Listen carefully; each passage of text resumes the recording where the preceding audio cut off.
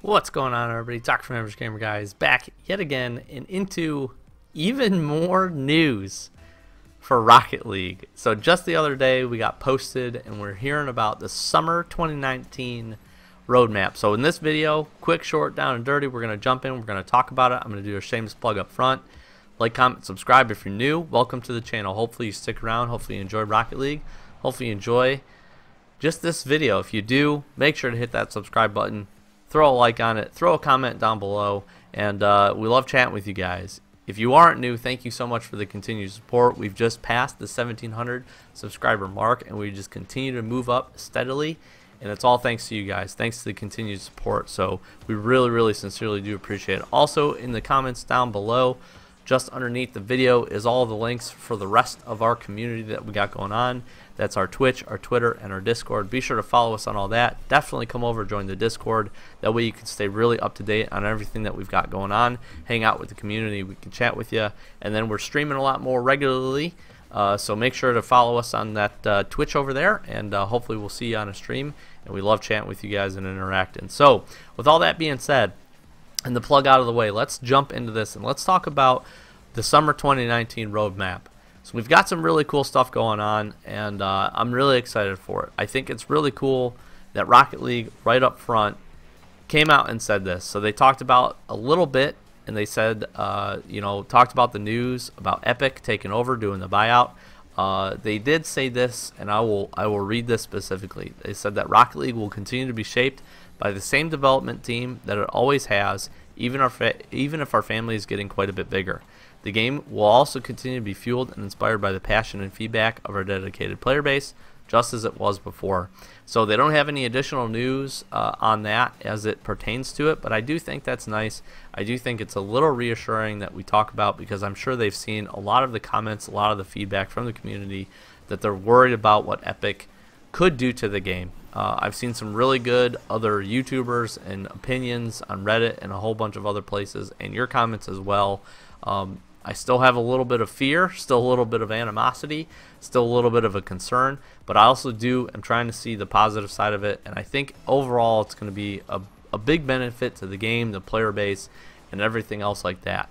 With that being said, the summer 2019 roadmap and what they've got coming inside of it makes me really feel positively about what we've got going on. I've talked about this in some previous videos, but you got to remember that the development cycle for this game, it's months and months ahead of what we got going on. So the reason they can share a Summer 19 roadmap uh, with us is because this stuff has probably been in the works since the beginning of the year, if not sooner than that. Um, so I, I think that's really positive. So let's talk about what they've got. Summer event is going to come with limited time events. They're talking about this being the biggest in-game event that Rocket League has ever had, and it's going to feature several limited time events. The event on the whole is going to share the same currency, which is really cool. So think about it like uh, we've had it in the past. It's been quite a while, uh, but uh, event currency, balloons, whatever it ends up being.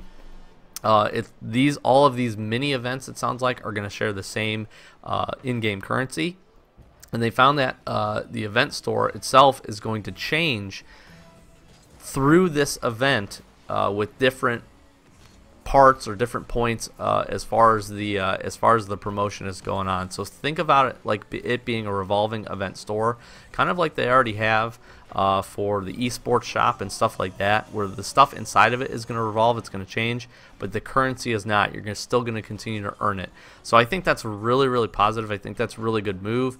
Obviously, it's going to make it so that your currency one doesn't feel like it uh, it's useless if you get a bunch of it because there's going to be new stuff coming out. In addition to that, they have recognized that people, especially if you play this game a lot, are getting a lot of currency that you end up not being able to do anything with. This has happened for me and probably a lot of you in the past where you just you play the game a ton, you get a bunch of currency, you buy everything in the store, you buy the event crate or whatever it ends up being, and then you continue to play and get this currency and you don't have anything to spend it on. Well, here's what they're doing. They're adding XP level up packs in the event store as well. This is the first time they're doing it, and it means that players are going to be able to redeem event currency for these level up packs that are going to grant a full level, 10 tier points for the Rocket Pass. So this is going to be a huge boost for Rocket Pass 3 for you to be able to continue to grind those tiers, and then it's going to really make it So without a doubt, if you're playing this game, you're earning XP, you're playing the challenges. In addition to that, you're also going to have this limited time event, which you can then use your currency for that to buy level up packs. All of us are going to be level like 400 by the time Rocket Pass 3 is done. I say that totally kidding, uh, but that's a very likely thing, uh, or not likely that you're going to get to 400, but it's very, very good for Rocket Pass. I think it's really good for the community and for this event because if you do play it a ton, at least you'll have something that you can use that currency for. So I'm really looking forward to it. I think that's a really, really smart uh, system for them to implement. They don't give us a whole lot of additional details of what the what this limited time event is going to have or when it's going to start. They said all that stuff will be coming very soon, so they look forward to hearing exactly what we're going to have going on. I expect just like any other limited time event, we'll hear it about maybe a week maybe a little over a week beforehand, and then it'll kick off. And uh, I look forward to seeing what that's going to bring with it. They also talked about for the summer roadmap uh, that uh, they're really focused on some community updates and some community feedback things uh, that they've been working on. So they said, and I quote, the community has been asking us uh, for Kirkerways to party up with strangers following a good match. They said that functionality will be coming later this year. They said soon you'll be able to easily party up with teammates from the post-game screen. This is really smart. So if you jump into, you know, let's say competitive twos or threes and you're just solo queuing it and you get with a really good team, you're like, man, those guys are really good. Now in the post-game screen, they're going to have some ability where you can send those guys an invite. You can get right into a party with them and then continue to play the games.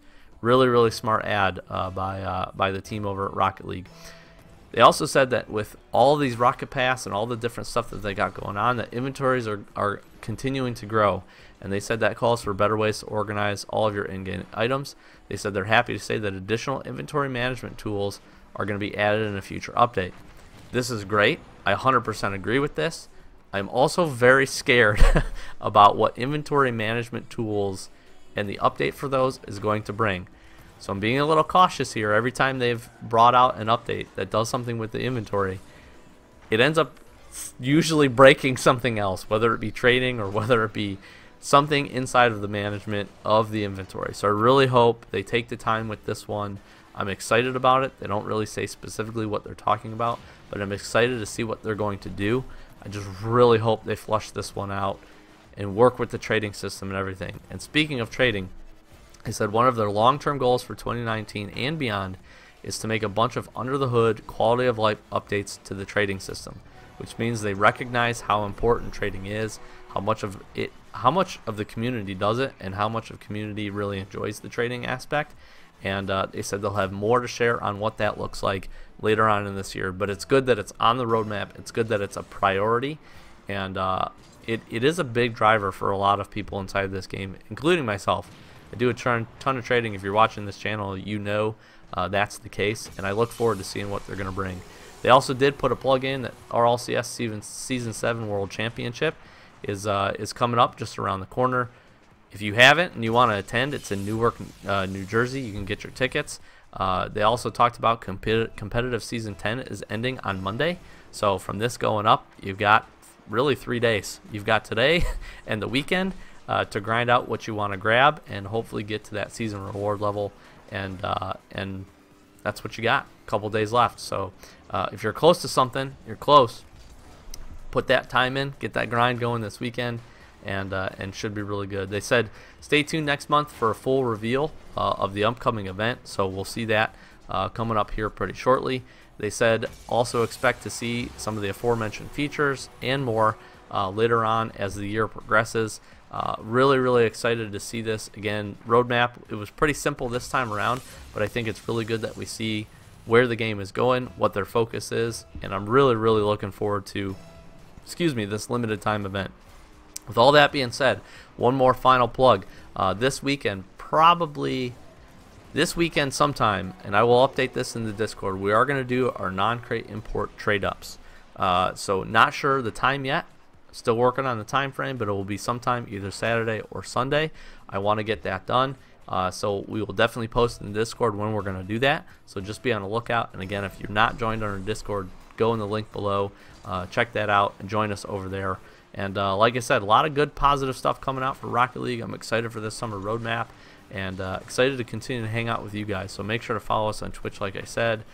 make sure you're subscribed here. Consistent updates. We'll have some market watch, some crate openings, and some other stuff coming out here in the next couple of days. And uh, really look forward to chatting with all of you. I've been Doc from Average Gamer Guys. As always, thanks so much for watching. Catch you in the next one. Peace.